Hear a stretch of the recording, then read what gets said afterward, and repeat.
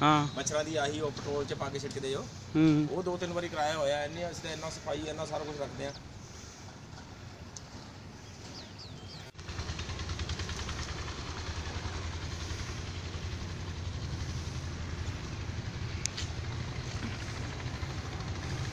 ਨਾ ਉਹ ਜਦੋਂ ਵੀ ਆਊਗਾ ਇਹ ਮੇਰੀਆਂ ਸਾਰੀਆਂ ਹੀ ਸਾਫ਼ ਕੀਤੀਆਂ ਹੋਈਆਂ ਸੀਗੀਆਂ। ਮੈਂ ਕਿਹਾ ਇਹਨੂੰ ਕਹਿ ਲੈਂਦੇ ਜੋ ਕੁਝ ਕਹਿੰਦਾ ਹੈਗਾ। ਤੋਂ ਚੱਲਿਆ ਤੇ ਚੱਲਦਾ ਚੱਲਦਾ ਚੱਲਦਾ ਜਾਂਦਾ ਬਾਹਰ ਆਇਆ ਮੂੰਗੀ ਵੇਚੀ ਤੇਰੀ। ਉਹ ਵੀ ਇਹਦਾ ਖਾਦਾ ਸੀ ਨਾ ਕੁਛ ਨਸ਼ੇ ਪਾ ਨਸ਼ਾ ਨਸ਼ਾ। ਦੇਖੋ ਕਿੰਨਾ ਵਰਿੰਦਰ ਇਹ ਖਰਚਾ ਕਿੱਥੇ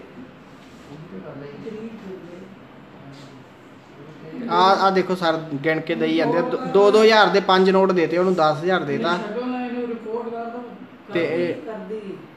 ਆ ਹੁਣ ਕੋਈ ਦਾ ਨਹੀਂ ਜੀ।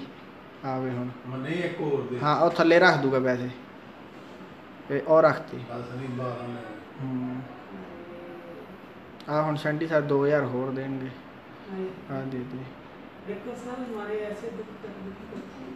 मुझे किसी काम आते ही एक तरह से पकड़ा के दस लेंगे ਚਲੋ ਜੀ ਉਹ ਪਾਲੀ ਦੇ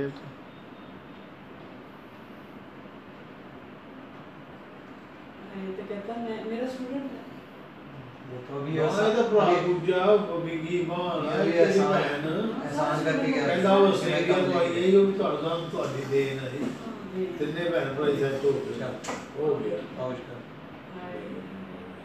पता क्या है ये मेरे पास आया दो बजे के करीब आगे कहता कि मैंने चेकिंग करनी है मैंने कहा, कर लो काहे की चेकिंग करनी की सफाई वगैरह कहता नहीं हमने डेंगू देखना है डेंगू तो नहीं है वो लार्वा देखना है ये गया ऊपर हमने पीछे माली भेजा के जाके देख के अभी उस पर काम करवाओ ढक्कन ढक्कन खोल देना तो इतने में अभी माली तो ऊपर गया नहीं ये आ भी गया ये पकड़ के ले आई लार्वा मिल गया लार्वा मिल गया ऐसे ही शो डाल दिया स्कूल का माहौल ही खराब कर दिया पता नहीं क्या क्या मिल गया इनको तो हमने कहा भाई क्या मिल गया कहता है पचास हज़ार रुपया लगेगा इसका ਪੰਜਾਹ ਹਜ਼ਾਰ ਤੋਂ ਗੱਲ ਘੱਟ ਨਹੀਂ ਬਣਨੀ ਮੈਨੂੰ ਕਰੇ ਮੈਂ ਕਿਹਾ ਅੱਛਾ ਜੀ 50 ਲੱਗੇਗਾ 50 ਦੇ ਦੇਂਗੇ ਪਰ ਹੈ ਕੀ ਹੈ ਅਗੇ ਲਾਰਵਾ ਮਿਲਿਆ ਜੀ ਤੁਹਾਨੂੰ ਮੈਂ ਕਿਹਾ, ਠੀਕ ਹੈ ਜੀ ਇਹਦੇ ਨਾਲ ਡੇਂਗੂ ਹੋ ਜਾਏ ਇਹਦੇ ਨਾਲ ਬਿਮਾਰ ਹੋ ਸਕਦਾ ਬੰਦਾ ਕੁਝ ਹੁੰਦਾ ਮਗਰ ਸਾਨੂੰ ਕੀ ਦੱਸਦਾ ਅਸੀਂ ਆਪ ਇਸੇ ਕੰਮ 'ਚ ਹੀ ਹਾਂ ਤੂੰ ਅੱਗੇ ਦੱਸ ਕਹਿੰਦੇ ਇਹਦਾ 50000 रुपया बहुत ही लगेगा मैंने कहा यार पचास हो चाहे लाख हो अगर हमारे ये मिला है तो हम दे देंगे आप चलान काट दो हमारा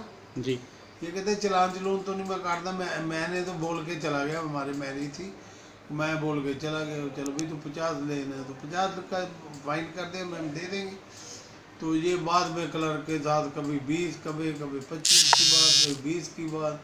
फिर हमने इनका जो प्रधान है उनसे बात की सुनील सिंगला। ਜੀ उससे बात की उसने इसको फ़ोन किया कि तू क्या बात करता है? शहर में रहते हैं ऐसे थोड़ी करते कहते ही ठीक है मैं नहीं लेता। अंदर जाके फिर सुपरटेंडेंट कहते बीस हज़ार दे। ਜੀ फिर बीस से पंद्रह की बात होगी। पंद्रह उसने मेरे को फ़ोन किया मैं जा रहा था रास्ते में। मेरे को कहता भाई ये पंद्रह मांग रहा दस दे दो दस में बात करके देख। मैंने कहा चल देख ले जैसे होता करके काम दिया ਜੀ तो इसने दस दे दिया उसने फिर इसने कहा नहीं दस नहीं कम से कम पंद्रह दे। फिर उसने दो और दे दिया बारह बारह लेके चुप करके ये चला गया।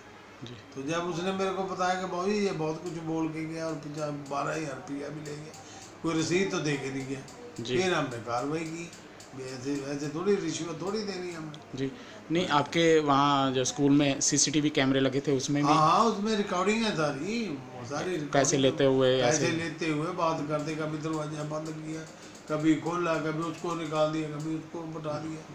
इसने काफ़ी ड्रामा किया। धमकाते हुए भी ऐसे? हाँ, जी। हाँ, ये दो एक घंटे के करीब इसने पूरा ड्रामा किया।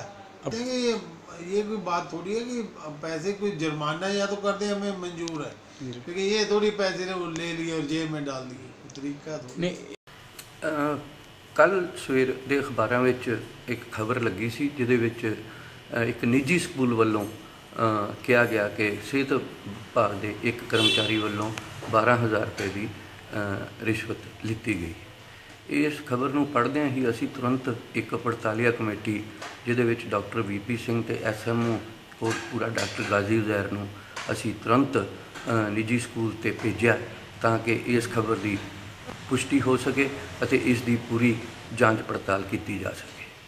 ਉਹਨਾਂ ਵੱਲੋਂ ਪ੍ਰੀਲਿਮਿਨਰੀ ਜਿਹੜੀ ਰਿਪੋਰਟ ਦੁਪਹਿਰ ਤੋਂ ਬਾਅਦ ਦੱਸੀ ਗਈ ਕਿ ਇੱਕ ਮੇਲ ਵਰਕਰ ਜਿਹੜਾ ਸਿਵਲ ਹਸਪਤਾਲ ਕੋਟਕਪੂਰੇ ਸ਼ਾਇਦ ਕੰਮ ਕਰਦਾ ਉਹ ਜੋ ਵੀਡੀਓ ਰਿਕਾਰਡਿੰਗ ਦੇਖੀ ਗਈ, ਉਸ ਮੁਤਾਬਕ ਉਹ ਉਹ ਵਰਕਰ ਹੀ ਲੱਗਦਾ ਤੇ ਇਹਦੀ ਜਿਹੜੀ ਪੂਰੀ ਪੜਤਾਲ ਰਿਪੋਰਟ ਹੈ ਉਹ ਪਰਸੋਂ ਤੱਕ ਸਾਡੇ ਕੋਲੇ ਆ ਜਾਊਗੀ।